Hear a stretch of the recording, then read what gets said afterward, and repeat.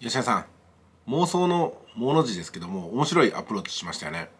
この字っていうのはもともと女に目を奪われるっていう意味なんですよね。でやらずぼったくりっていう言葉がキャバクラにはあるんですけどもこれはどういうことかっていうとあの男性にね恋心を抱かせておいて今度はねあなたと一緒にあのベッドに行こうよねホテルに行こうよねみたいな雰囲気を醸し出しといていくらでもボトルや締めを入れさしといてねやらずにぼったくるってことなんですよ。つまり男性の側は今に自分の欲望が満たせる自分の悩みが消えるっていうふうに思って全然満たされないんですよ。でもう一歩行ったらもう一歩進んだらこれを買ったらあれを買ったらこうしたらああしたらっていうふうな感じでね常に自分を満たすものを求めているんだけども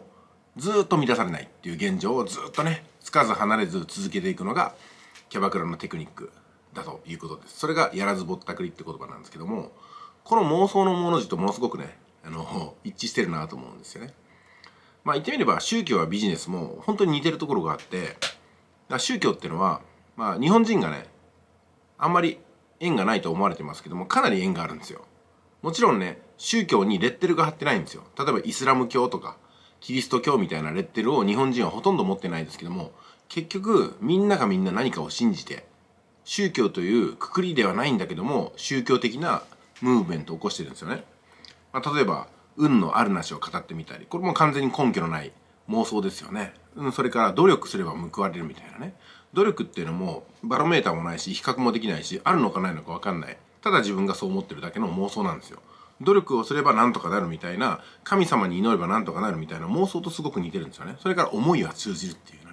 自分が本当に心から願えばそれは通じるんだと思ってこれも自分なりの都合のいい解釈でじゃあ石に対してね燃えろ燃えろって言って思いを募らしたところで燃えますかって話ですよね。まあ、中にはねなんか別の要因でパッと燃えることがあるかもしれませんけどもそれは自分が妄想をこう思いを通じたから燃えたんじゃなくて別の要因で燃えたってことを勝手に自分で結びつけてるだけなんですよね。それから気合っていうのもそうですよ。こう言っては身も蓋もないですけども人間の精神力をいくら込めたところで精神が結局何か対象物に影響を与えるかどうかっていうのはよく分かってないんですよね。ただ意志のある人間ねだから女性から言うと、まあ、年頃の男性に色目を使うとね、まあ、妄想を抱かせることができてまさに、えー、やらずぼったくりが成功するってことなのかなと思います、まあ、ビジネスも似たところがあってあのこのツールさえあればあなたのお金の悩みはなくなりますよっていうふうにプロモーションをかけていくわけですよ。で本当に購入した後に悩みがなくなるようなあのプレゼンスがその後にあればいいんですけども、まあ、プロダクトローンチみたいなね吉田さんがよくご存知のやつは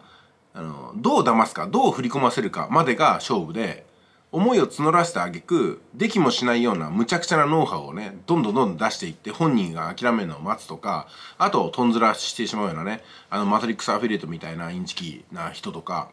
うん、あとはなんかこうノウハウとも何とも言えないようなやつをなんとか方便をつけて価値があるんだ儲けてる人がいるんだみたいな感じで非常に少ない確率の儲け話に最後落ち着かせるみたいなね。それこそ二足三門みたいなものをあのものを知らないのいいことに情報の格差があるのいいことによく知らない人に高額で売りつけて「はい終わり」みたいなねそんなこともあったりとか自己責任ですみたいな言葉で閉じたりするもう全部ビジネスも妄想の上に成り立ってるものが多くってまさにね私たちはどんな妄想を抱いて生きてるんですかってことになりますね。うん、まあ今日はそんなとこですか。ちょっと大和君起きたみたいなんで。